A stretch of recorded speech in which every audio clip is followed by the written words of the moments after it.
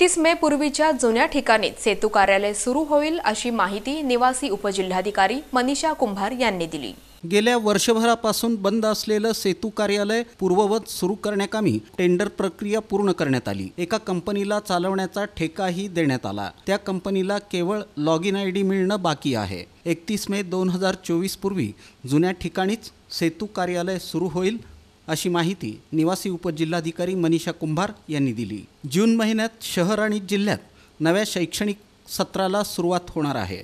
त्यामुळं विविध शाखांच्या प्रवेशासाठी उत्पन्न दाखला जातीचा दाखला रहिवासी दाखला तसंच विविध प्रकारच्या कागदपत्रांची आवश्यकता असते. त्यामुळं यापूर्वी बंद असलेलं सेतू कार्यालय सुरू करावं अशी मागणी वारंवार केली जात आहे. याबाबत जिल्हा प्रशासनानं गांभीर्यानं विचार करून सेतू चालवण्यासाठीची टेंडर प्रक्रिया राबवली.